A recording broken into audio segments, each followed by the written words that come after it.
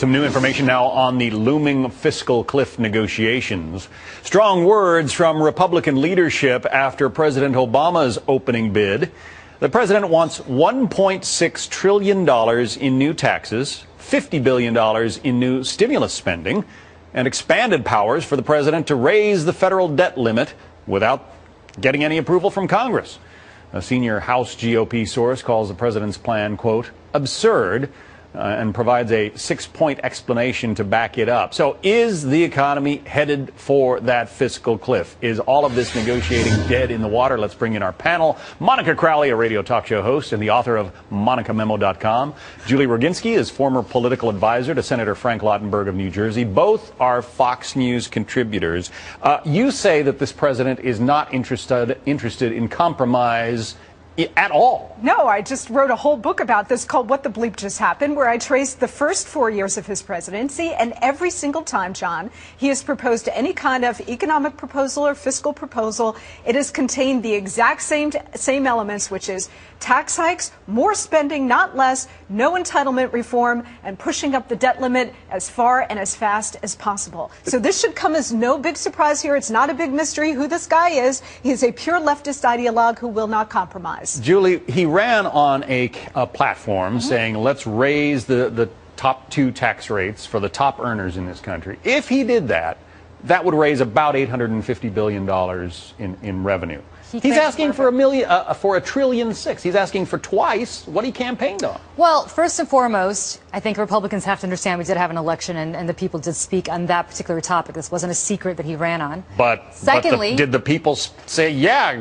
we'll give you double the well, taxes the that people, you said you wanted? 60% said they want taxes raised on those 2%. That's a Pew exit poll. But look, I think a lot of this is kabuki theater on the part of the Republicans and the Democrats. The president knows he's not going to get this very aggressive position that he's put forward. He's not going to get that ultimately. What he's doing smartly, finally, thank you, Mr. President, is after four years, he's learned how to use the bully pulpit. And he's now saying, look, I used to start with the Republicans by compromising and saying, let me start by giving you half the loaf. And then we move to the, you know, don't forget, he did $1.7 trillion, excuse me, beforehand during the fiscal budget talks of 2011 and actually lowered the deficit by $1.7 trillion over 10 years. So he's already compromised on that.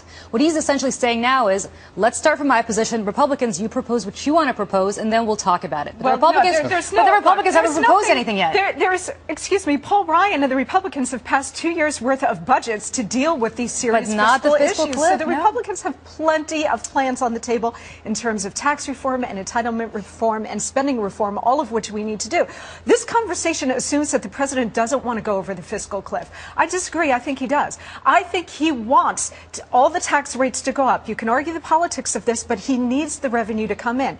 He's arguing for more spending, not less. He wants the $1.2 trillion in defense cuts because he wants to cut the military, and he wants an unlimited credit card in terms of being allowed unilaterally to, to raise that debt limit. He wants all of these things, and he knows he's not going to get blamed for it. The Republicans will get blamed for it no matter what happens. The GOP will get blamed for it because the media is protective of the president. So he has nothing to lose, John. He's willing to go over the cliff, and that's what I think wants. what he's saying is if you want to take us over the cliff, he will then vote with the Democrats and dare the Republicans to not vote for this to lower taxes again for the 98% of Americans that wouldn't be affected by these top two marginal tax rates. But I think he understands as a politician, and at long last, I think it's gotten realistic, but how to negotiate in Washington, he finally understands that what you need to do is come and say, this is my position. Republicans, you give us your position, and we'll negotiate that way, as opposed to coming to the table saying, John Boehner, I'm going to give you 50% except of what you want. That, that would work with a normal presidency, except there's nothing in Obama's history or past or pattern of behavior to suggest any compromise or conciliation. I'm sorry. Whatsoever. We had a grand bargain agreement agreement until Paul Ryan and Eric Cantor torpedoed it last time. So I think this president has shown no, no, no, it, and he's already lowered again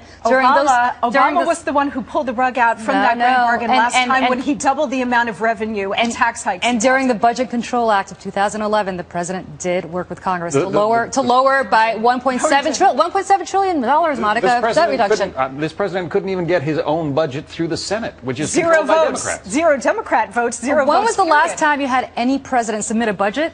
That was verbatim adopted by any House of Congress. Never, never happened in the history right. of this. Not a as far as single I know, vote from his own party. I have Julie. Never that crazy. I have never seen a president two- submit any kind of budget that verbatim two, gets passed. These two said they didn't feel like fighting today. Oh, Can Oh, you we believe love that? each other. Thank you very much. Julie and Monica, we'll have you back again. Pleasure. Thank you. Jenna.